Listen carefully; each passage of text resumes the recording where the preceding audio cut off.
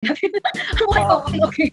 So, oo, multitasking eh, kaya busy-busy na, sobrang busy ang talaga. buhay natin, ang, pina, ang buhay natin sa Pilipinas, kumusta naman? So, anong pinagkaiba yung buhay mo, buhay natin dito? Sanay na ako sa ano, sa yung multitasking nga, no? Mahilig ako sa negosyo talaga. Paano mo naman napagsasabay ate yung, dahil nga real estate rin ang tulad ko, paano mo napagsasabay yung um, pagbibake, pagnegosyo, at uh, pagbibinta ng mga hotel, condominium, mga ganon,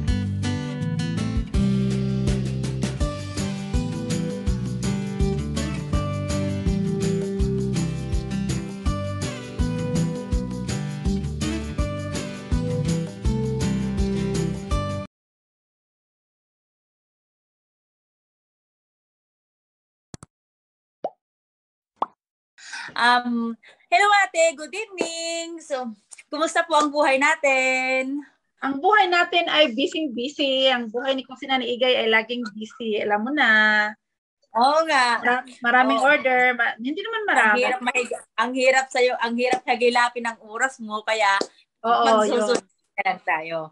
So, through video ate. So, gusto ko kasi malaman ang buhay mo sa Pilipinas. So, unang-una sa lahat, kamusta ang buhay natin ate dito sa Italia? Dito sa Italia, um, let's say na okay-okay ang buhay natin. ang buhay ko, Oo. okay-okay. So, Kasi multi, oo, multitasking eh. Kaya busy-busy na, sobrang busy talaga. Oo. So ngayon, yung buhay natin, ang pila, ang buhay natin sa Pilipinas, kumusta naman? So anong pinagkaiba yung buhay mo at buhay natin dito? Para sa akin, ang pinagkaiba yung kita. kasi sa pareho lang, pareho lang ang buhay ko kasi ako kasi sanay ako sa multitasking. Bago ako pumunta dito, may negosyo ako, no? So, yung negosyo ko dati, so, tatlo, tatlo pala yung negosyo ko kasi may cross-stitch store ako dito, shop, tapos ah, may tindahan din ako. Sa gitna ng tindahan, dalawang tindahan yan, sa gitna naman, flowers, mga flower, parang, yun, nagbibinta din ako ng mga bulaklak, yung mga klaseng bulaklak. So, sanay na ako sa ano sa yung multitasking nga no? Mahilig ako sa negosyo talaga. So from Pinas ang kinikita doon piso normally pagdating dito sa Italia ang kaibahan euro na ang kinikita. So pareho pa rin pareho pa rin. Kasi ako kasi ano ako eh um kung pwedeng every uh, seconds counts kasi sa akin kasi every minute an hour hindi na kasi babalik yan. So kung kaya Oo, ko kung kaya ko lang, ilakaya ko talaga. Pag hindi naman kaya, papahinga natin kasi syempre, yung katawan ng punguna natin, di ba? Oo. So ngayon, paano mo naman napagpa, napagsasabay ate yung, dahil nga real estate ka din na katulad ko, paano mo napagsasabay yung um, pagbibake, pagninegosyo at sa pagbibinta ng mga condotel, condominium, mga ganon. Um, sa akin, depende kasi sa iyo yan eh, kung paano mo i-divide yung time mo. Kasi sa akin, nasa hotel ako nagtrabaho. So, um, wala akong supervisor. So, kaya ko yung time. Ako ang may hawak ng time ko. So, kung, halimbawa, pag nasa bar ako o nasa taas ako na-assign, so, pag may mga clients ako, kaya kong isingit-singit, no? Tago-tago lang, tago-tago sa banyo, tago-tago kung saan ka pwedeng Oo, oo, oo. mag-singit. Nasa sayo yan, yung paano mo diskartihan. Ang galing mo nga super, superwoman ka eh, kasi meron Oo. kang YouTube, meron kang nag-bake ka pa, isa ka pang housewife, isa ka pang uh, Hitting ano nga ako, hitting Sana three birds in one stone nga ako, no? Hitting three birds in one Oo. stone. So, lahat kinakaya. Pag kaya lang kasi, kung kaya mo lang ha, kasi dipindi sa akin lang, kasi Tama. may trabaho ako, no, regular trabaho. So, pagdating dito sa bahay, kasi maaga ang uwi ko, 4.30 na sa bahay na ako. So, may time ako. May time ako sa channel ko, um, pag di off, pag walang order. Kasi nasa sa akin naman kung mapapa-order ako o, hin- o hindi, di ba? Hindi naman Oo, lagi. Pag marami ang order, isasabay ko yan. Isasabay ko ang pagpapa-order. Pag wala namang order, okay lang. Magsa-channel naman ako. Sa YouTube naman kami. So, so dinidivide ko yung time. Dinidivide ko yung time. So, kung may mga weekend kami na vacant, so pwede kaming mag, mag, mag-video. So, upload ng kuya mo. Yun, i-divide namin. Oo. Oo. Importante lang kasi sa, YouTube channel. eh, sabi, itong sabi natin, mer kasi meron pa pang itadagdag kanina, yung kwan, paano naman si kuya, si mister, na nakakapag-adjust dahil nga ikaw ay super busy, very supportive ba sa'yo sa lahat ng mga ginagawa Oo, mo? kasi yung si Mr. ko ay siya yung ano, yung wind beneath my wings, let's say na ganon. Kasi siya kasi Sana yung, all. yung taga-support sa akin. Kasi ako mahilig ako ano, mag-multitasking. Siya naman yung nasa likod ko. Halimbawa, hindi ko kaya yung mga computer na works, siya lahat noon.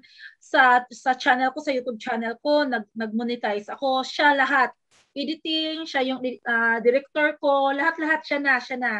Um, oh, oh yun, siya na nga lahat, pati ano, yung sa filming. Ako yan, soon. ako lang ano, ako lang tagagawa, ako din. Kanya-kanya kami, siguro, na, tandem kaming dalawa eh, tandem kaming dalawa. Ganda nga ng Mekwan. Oo. Maganda yung ano so, namin. Yung isa kang vlogger ate ng YouTube. So gusto kong malaman kung paano yung paano ka naging successful, paano yung feeling na nakaikay na sa naka-monetize ka na. Okay. So sabihin natin successful kasi monetize na, no? So, oh. ang, ang pagiging muni naman, at start, sa start, hindi ko na-expect talaga yon. Ang importante lang talaga, may mag-click sa yung video. Pag may nag-click sa yung isa o dalawang video, maano na yan lahat eh. Doon na magsisimula, natitingnan ka. Halimbawa yung sa amin kasi, nagsimula kami ng lockdown lang. So, let's say last year, last year ba yung lockdown? The other year. No, kasi two years na tayong lockdown. So, uh-huh one other year, no? Kasi last year hindi na tayo lockdown, di ba? So, nung nag-lockdown, kasi kami ay may channel na ng travel vlog dati, so nahirapan si kuya mong mag-edit kasi napakahaba ng travel vlog. So, nag-change kami ng um, uh, cooking, sa baking. Sa baking. Yes. So, Oo. ano namin, ang motibo talaga namin, nasa bahay yung mga tao, sabi ng kuya mo, what if mag-ano tayo, mag-open tayo ng channel sa YouTube na yung napag-aralan ko, kasi nag-aral talaga ako dito ng Italian pastries, Italian professional pastry, uh, mahal kasi yung bayad sa pag-aaral dito sa Italia. So sabi ng kuya mo, ibigyan natin ng libre. Sabi ng kuya mo, i-video natin sa YouTube kung paano gawin yung mga pagkain na yan, mga Italian na pagkain. At least free mapapanood ng mga tao. Yun ang motibo oh, namin. Oh. So, kaso nga lang, nung mag-start kami, maraming nag-request ng pagkain na Pilipino, much more yung Filipino na pagkain, kaya hindi naman namin natutukan yung Italian. Nakapag-video kami ng mga Italian food, pero kunti lang, kasi kakasimula lang namin, maraming nag-request ng mga Filipino na pagkain. So, ang nangyari, naging nag-mix yung Filipino at saka yung Italian sa video. Italian. So, nagsimula kami in just one month, nung magsimula kami, hindi namin in-expect na may mag-boom na video namin. Kaya in just one month, uh, nakuha ko na nakuha yung semester. So pagkadating ng almost two months, nag-graduate din ako sa uh, watch hour. So nagmuni okay. ako. Oo. Kasi Napaka- ako isa rin, isa, isa rin akong vlogger, kaya lang, hindi ko maabot-abot yung yung monetize dahil ang hirap. Mahirap hindi ang watch hour. Oo. Mahirap talaga. Kasi kung walang manonood sa video mo, mahirap uh, hilahin yung ibang video. So ang nangyari kasi sa akin, may mga video ako ng kasi baking kasi maraming nanonood lalo na lockdown. Yes. Yung mga tao oh. puro yung 'di ba, naghahanap ng ano, yung mga baking na sa bahay, walang ibang ginagawa kundi magluluto. Kaya nag-click siya, nag-click una yung ano ko, yung uh, Spanish bread. Tapos uh-huh. nag-click yung ano ko, yung ensaymada, tapos nag-click yung bibingka. So yun talaga, taga diretso na yan. Uh, so, ang oh. problema lang namin ngayon is, naging money siya. Ngayon, naging busy din kami sa work. So, hindi na namin masyadong natutukan yung channel namin kasi masyadong busy sa work. Tapos, nag, naging ano pa tayo, manager pa tayo sa real estate. So, ah, oh. kami sa real estate kasi syempre, kahit pa paano, sa hirap ng panahon niya yun, makabinta din tayo. Hindi naman lahat naghihirap. Lahat, may mga iba namang may trabaho. So, nag, naging ano na, naging multitasking na. At saka may Oo. mga na-order din sa akin. So, kung pag may time ako, ina ano, ginagawan ko rin, nilulutuan ko rin. So, binabalance mo kumbaga yung lahat ng oras. Oo, binabalance ko. Oo, yung time ko. Oo. So, ate, meron nagpapatanong sa akin at pwede ka daw magbigay ng payo sa mga nagsisimulang magnegosyo?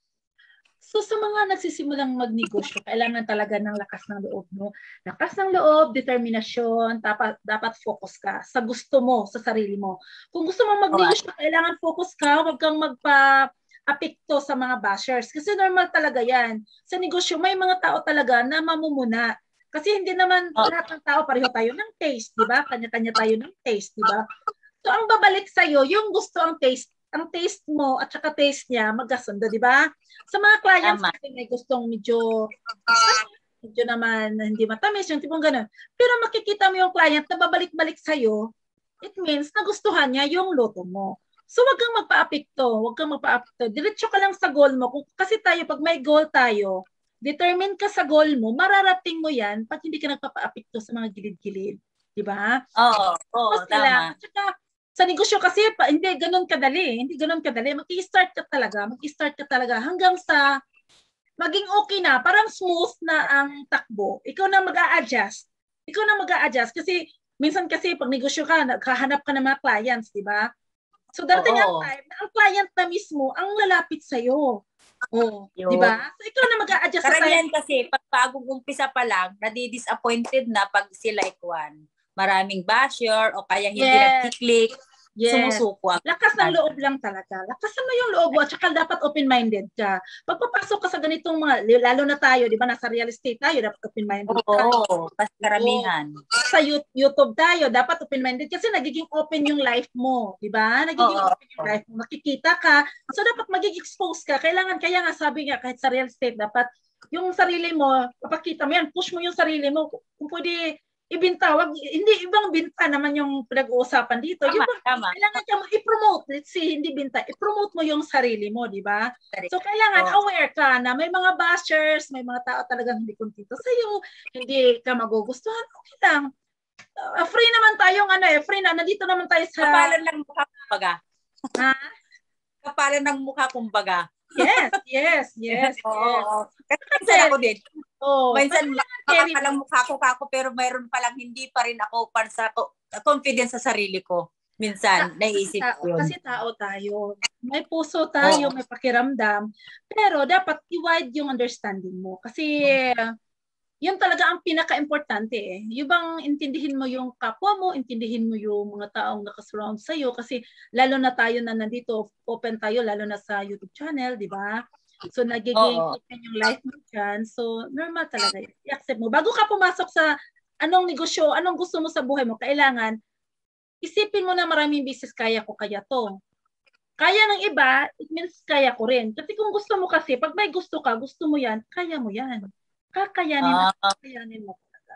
Ayun At pala yung gagawin natin. Yes. yes. yes. Okay. Wala. Ate, salamat sa pagpahintulot. Pwede mo rin ikon yung vlog mo dito para at least malaman ng mga nanonood. Okay. Yan. So sa mga mo. ano sa mga subscribers at manonood kay Gretch, so subaybayan nyo rin yung kusina ni Igay. Kasi yung kusina ni Igay ko ngayon ay uh, we have to try our best na maka, maka-upload ng video. Ang daming patalastas, ang haba ng patalastas ko. O, tingnan nyo. Ito. yes po. Abangan nyo nga po, i-subscribe nyo po so, sa abangan nyo yung next video ng guys. Sige. Yes okay. po. So, magandang gabi po sa ating lahat. Okay, At salamat. Si, ulitin ko po si Ate Amilin Gaudicos. Isa ko rin siyang kasamaan sa real estate at siyang YouTuber, successful YouTuber na siya ngayon. Ayan po siya. Panoorin niyo yung nasa likod niyo. So, ngayon po, bago po natin magtatapos, wag pong kalimutan, i-subscribe po, like, po ang video ko po. Salamat. Good evening, okay, ate. Good evening. Bye-bye. Salamat. Okay, bye-bye.